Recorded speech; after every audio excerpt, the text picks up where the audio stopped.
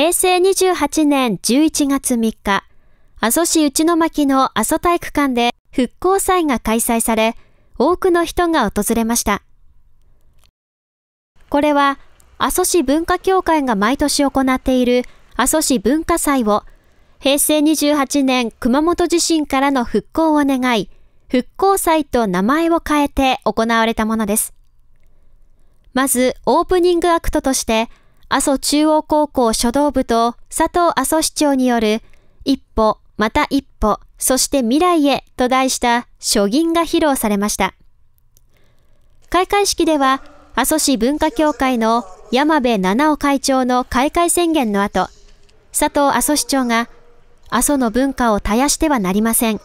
みんなで支え合って、この阿蘇を盛り上げましょうと挨拶がありました。次に、熊本市西区に本部を置く舞踊団、花わらべの少女舞踊団と子供舞踊団による日舞が披露され、華やかなステージに会場からは大きな拍手が起こりました。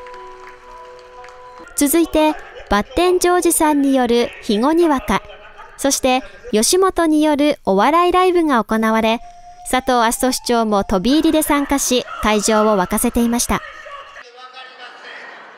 いつもよりもパワーアップしたステージにたくさんの人で賑わっていました。